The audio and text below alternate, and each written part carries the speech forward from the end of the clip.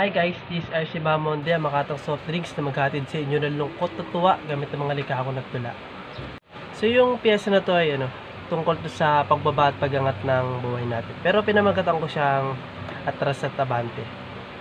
So panoorin nyo na lang para mas maintindihan nyo kung bakit ba atras at abante yung naging title nito.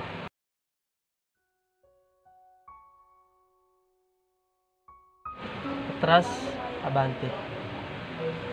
Atras, abante. Ganyan ang buhay palagi. Naman ka kapag malakas.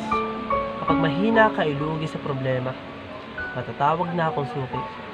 Dahil sa pagkakamaling, minsan nakuwa'y nawili nung bata pa ako. Gusto ko nang tumanda. Pero ngayon, gusto ko na lang bumalik sa pagiging bata. Napapatak lang ang luha kapag kinurot na ako ni mama at tahagulgul lang sa iyak kapag lumapat sa akin balat ang simpleng mga sapak pero mabante na ang buhay. Tanggap na may lungkot at numbay tanggap na may problemang sabay-sabay sa minsang desisyon kong naging sablay sa pagkakamali. Pagkakamaling akala ko ako ay abante. Ito yung panluloko ng babae. Akala ko dati, sukatan yun ng pagiging tunay na lalaki. Akala ko, panalo na ako palagi. Akala ko, cool, kapag papalit-palit ng babae at matikas kang iisipin kapag marami kang nadali. Pero di naman ako mabante. Bagkus lalo lang umatras. Pag-isip-isip na mali ang tinahak ko landas na di naman pala sukatan ng pagiging lalaki at matikas ang pagbukas ng iba't ibang manggas.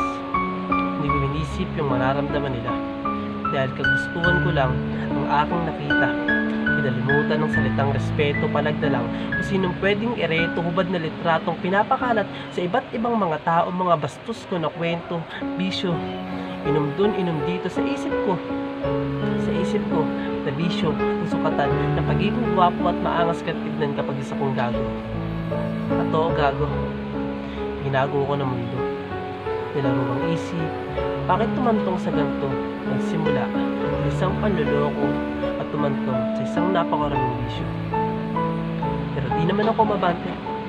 Pagkus lalo lang umatras. Mali na naman ang daan at tinahak ko landas na ligaw na naman akong muli. Pero ito na ako. Ito na ako. Handa na akong bumangon sa sariling pagkakamali. Pinilit kong baguhin ang lahat. Sa malas man, ay minsan kumagat pangako. Handa ko rin tong idura lahat. Malayo na ang aking inatras. Siguro panahon na para umabante. Wala nang pakwela at paarte isang gabi kong inisip ang lahat.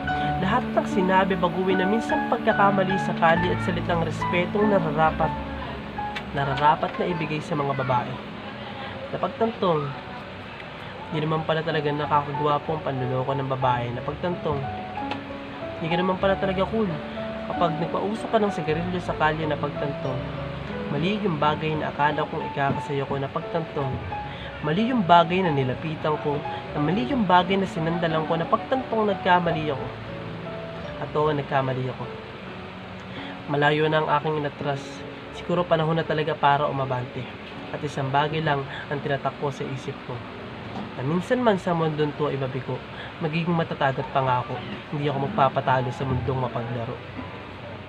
Hanggang sa muli, this is RC Bamonde, ang makatang soft drinks na maghatid sa inyo ng lungkot at tuwa gamit ang mga likha ko na tula. Kung nagustuhan mo yung video, pakipindot na lang ng thumbs up at pakisubscribe na rin. Pakipindot na rin yung notification bell para maging updated ka sa mga susunod kong pyesa. Yun. Salamat!